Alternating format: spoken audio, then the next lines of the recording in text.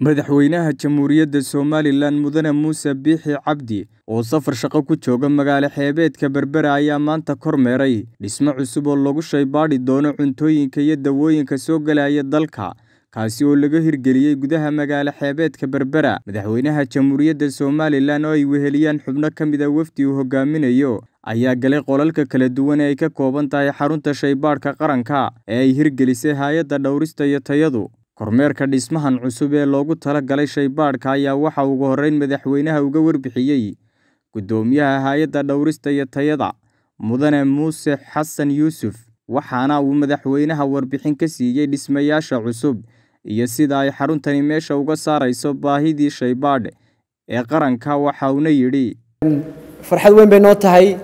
Mudane madaxweyne sanad iyo waxoogaa bay ahayd markii halkan iyadoo madhan aad noo dhagax dhigtay waa ilaahay mahaddii waxaa laga maalgeliyey miisaaniyadda qaranka dhismayaashaas oo ka kooban shan qaybood.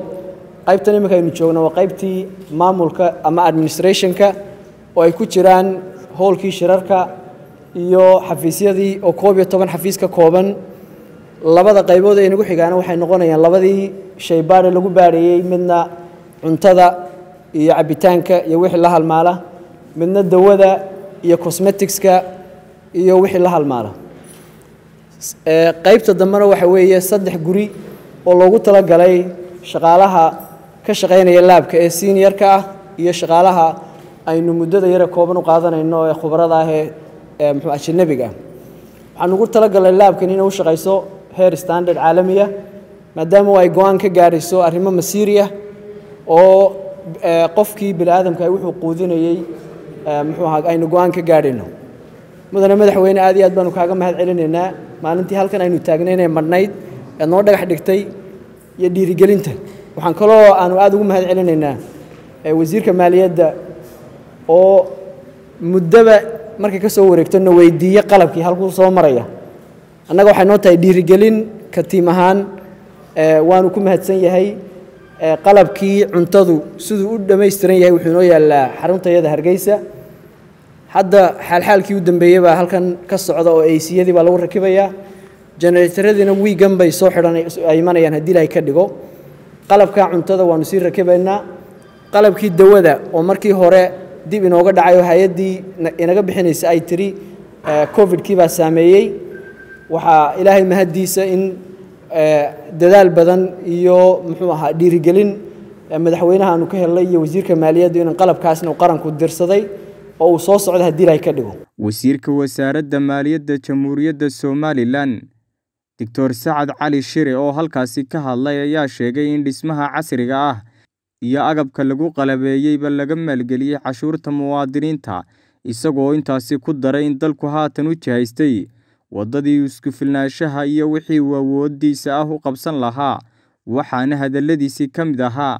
Madaxweyne dhismahan iyo madashan quruxda badan leh aynu dhex taagannahay waxaynu ka maalgelinay miisaaniyaddeena waa tusaale waxaynu qabsan karnaa inagu runtii madaxweyne mas'uuliyadda ugu horeysa ee dowladdu waxa weeye inay sugto nabadda iyo badqabka muwaadinka. Shaybaadhkani wuxuu la mid yahay ciidankeenna frontka jooga.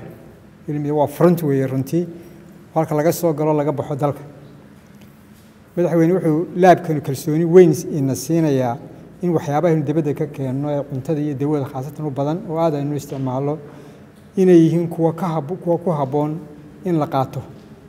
Iminka tuhum badan baa jira daawooyinka laynoo keena inaan taya lahayn iyo cuntada laynoo keena qaar inay dhaceen.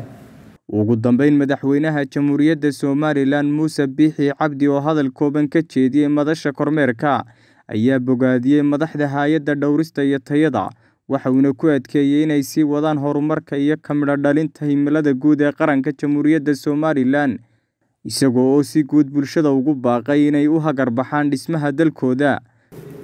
Aad iyo aad baynu ugu mahadnaqaynaa hay'adda quality controolka ama tayada oo runtii waxay leeyihiin qoladaasi hay'addu waxaa la dhaha hal abuurka curista.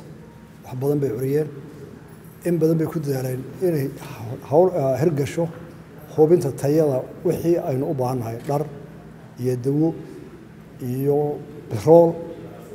Caafimaadkeenna wixii ku xidho dhan in badan bay ku dadaaleen horta waxaan waxaan maraynaa marxalad bilowa dal baynu dhisaynaa aada iyo aada u kala daadsan dhibaatooyin badan soo maray. Markaa waxaa abuurmay hay'ado badan iyo meelo badan oo horteen jiray. Iminka waxaanu leenahay shaybaadho badan. Wasaaradda biyuhu qaar bay haysaa wakaaladuhu qaar bay hayaa hay'addan gaadiidku ciidda meel haysaa iyo tayada ay eegto. Shidaalkii haamahu la joogaa wuu ka horreeyey. Marka halkana waxay noqonaysaa xarun. Horta marka hore laga hogaamiyo. Mustaqbalkana waxaynu gaadhay inaynu u tababaro dad aynu gebigooda centralize garayno waxaas dhan iskeeno kolba tallaabaynu qaadaynaa halkana waxa weye xaruntii laga wadaayey si cilmiyana baadhista howlaha qaranka xaruntoodii. Marka meel kasta ha yaalo iminkana waxaabay nagu soo kordhay intaasoo mashiin ama baadhisoo macinta lagu baadho oo qaar baa ragtun kusta qaar baa gawaari saaran. Qaar baa buuraha yaalla. Yacni waxa weeye dalkii dee dad bilowa ma ahayn. Nin waliba meel buu in yar u carab marka way isu soo ururi doontaa. Marka hore sharciga baa la samayn marka sharciga la baaskareeya haddana fulintiisa waa waqti qaadanaysa. Waa in dadka u wada bislaadaa si la isu soo duulahaa. Marka laftiina mararka qaarkood dhibaataada qabsato oo marka halkana laboratory era xaggana midyaalo wuxuna hararaha egeegta war wuxuu waa la soo horta kanaynu ka adkaanayna. Dokumentkaynu dhammaynayna. Dadkaynu barayna. Waayo ninkan isaguna meesha iminka wax ku haya iminka buurta shidan dad ur fadhiya mashiinka yar ee soo haysteen laboratory haya waa la gaari doonaa inuu u baahdo waar kana kii weynaaya halay soo maro. Nuraddiin cali gabyaaye telefishinka c b a